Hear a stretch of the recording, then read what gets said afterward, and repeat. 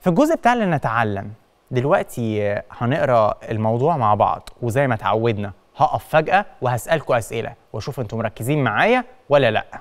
يلا بينا نقرأ ونعرف عن التنمر. هنعرف دلوقتي يعني إيه تنمر؟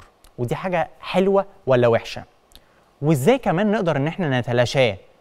آه، بمعنى تاني نبعد عنه يعني. طيب قبل ما نبدأ عندنا كام عنوان فرعي؟ ثلاثة مظبوط. برافو عليكم. أول عنوان التنمر عبر شبكة الإنترنت وكيفية تلاشيه. العنوان الثاني سرقة الهوية عبر شبكة الإنترنت.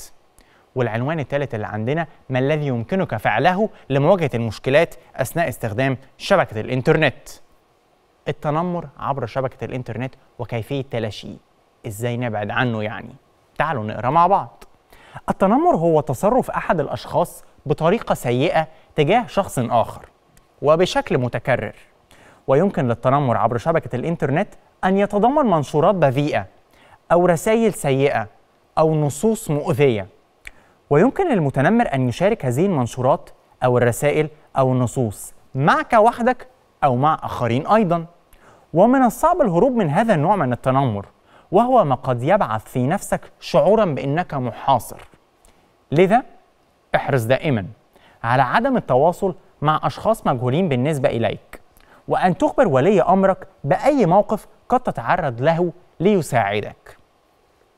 طيب آه، إحنا عرفنا أول مشكلة شائعة عندنا على الإنترنت شائعة يعني منتشرة يعني وهي التنمر. أي حد بيحاول يضايقني برسائل مش كويسة زي ما إحنا عرفنا. ممكن نبعد عنه بإن إحنا ما نضيفش أصلا الشخص ده أو ما نضيفش أي حد غريب عندنا على الحساب بتاعنا.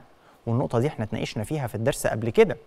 آه عرفنا ان إحنا نضيف مين وما نضيفش مين. واتكلمنا ان إحنا مش اي حد نضيفه على الصفحة بتاعتنا. تقدر تتابع كل دروسك على تطبيق مدرستنا بلس. مدرستنا المستقبل يبدأ الآن.